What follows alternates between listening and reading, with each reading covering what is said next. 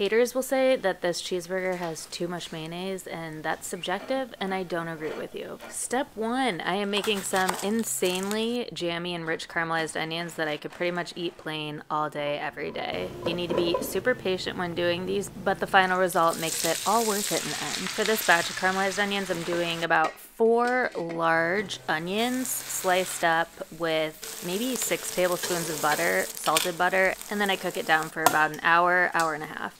Then for this Lux burger, I'm making a homemade mayonnaise, which is why you'll want extra on the buns because it's delicious. Ingredients are in the description and the recipe is on my website. It's really easy to make and it's super delicious. When forming the patties, I'm doing a half a pound per burger and I'm trying my best to barely work the meat and I'm putting a little indentation in the middle of each patty so that they turn out pretty even in thickness. For cheese, I'm sticking with Velveeta American cheese because it's the best for burgers and if you disagree, then you can use whatever cheese that you think is the best. I'm pan frying the buns with butter for a nice little extra crunch that it adds when eating these magical creations. I grilled these burgers for about 7 to 10 minutes and they came out medium rare and were perfect. I started the grill out at medium high and then I ended it at high. Then I like to keep my burgers with simple toppings. Mayonnaise, lots of mayonnaise, thick dill pickles, burger, extra American cheese, and then a decent amount of caramelized onions.